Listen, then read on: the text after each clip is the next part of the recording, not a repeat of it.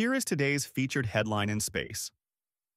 A week after the vehicle's second launch, Blue Origin outlined plans to upgrade its New Glenn rocket.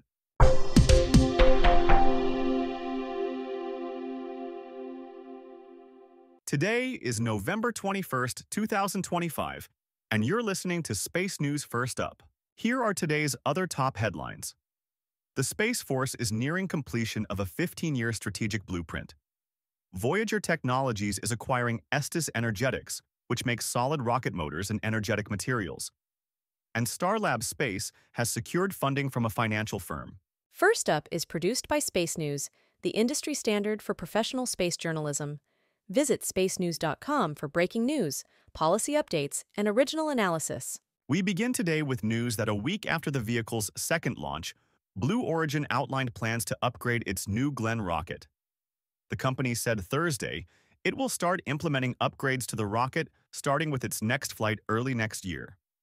Those upgrades include increased thrust from its first and second stage engines, as well as a reusable payload fairing and lower-cost tanks. The company did not disclose how the upgrades would improve the payload performance of New Glenn, currently listed as up to 45 metric tons to low Earth orbit. Blue Origin is also planning a larger version of New Glenn, called New Glenn 9x4, with additional engines and a larger payload fairing, capable of putting 70 metric tons into LEO.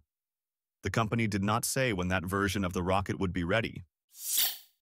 The Space Force is nearing completion of a 15-year strategic blueprint, General Chance Saltzman, Chief of Space Operations, said at a CSIS event Thursday that the framework, known as the Objective Force, is now in its final stages and expected to be approved early next year.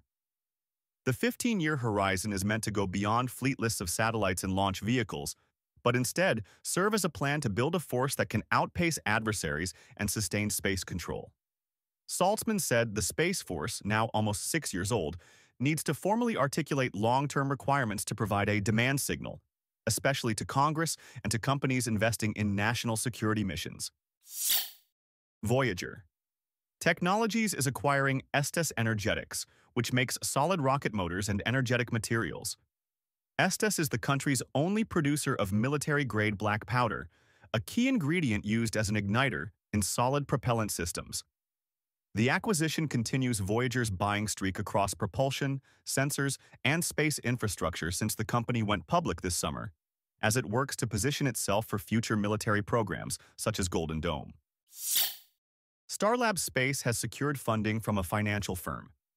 Janus Henderson Group, a London-based asset management company, said Thursday it was investing in the commercial space station company, but did not disclose the size of its investment. Starlab Space, a joint venture that includes Voyager, Airbus, Mitsubishi, and MDA Space, among others, is working on the Starlab space station for use by NASA and other customers. A company executive said earlier this month that Starlab would soon go through a critical design review as part of development toward a planned 2029 launch. Discover your next mission in the space industry with the Space News Job Exchange. Visit jobs.spacenews.com to find top aerospace roles and connect with leading employers. And for employers, use discount code JOBEX for 15% off your next purchase. In other news, Rocket Lab launched a satellite for a confidential commercial customer Thursday with little advance public notice. An Electron rocket lifted off from New Zealand at 7.43 a.m. Eastern, with Rocket Lab declaring the launch a success one hour later. The rocket carried a single satellite for an undisclosed company. The third time this year, Rocket Lab has launched a commercial payload without disclosing the customer. Rocket Lab announced plans for the launch less than five hours before liftoff. Rocket Lab has now performed 18 Electron launches this year, a record for the company. The Orlando Sentinel reports that a Starlink launch Thursday night was the 100th so far this year from Florida's Space Coast. A Falcon 9 lifted off from Kennedy Space Center at 10.38 p.m. Eastern, putting 29 Starlink satellites into orbit. The launch was the 100th this year from KSC and Cape Canaveral Space Force Station, the first time there have been at least 100 orbital launches in a year from the area. SpaceX accounts for 93 of those 100, with United Launch Alliance performing 5 and Blue Origin 2. Share your company's news with the entire space industry through Stellar Dispatch, the press release service from Space News.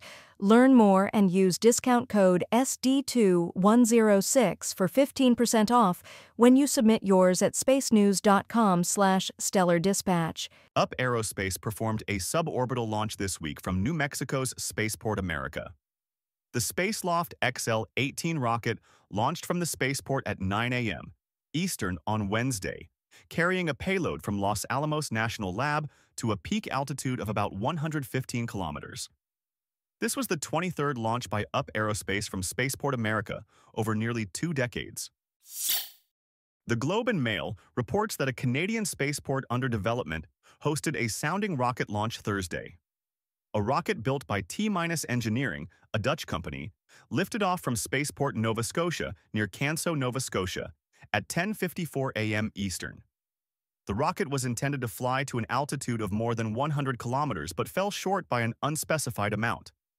The spaceport considered the launch a success, though, testing procedures for future launches there.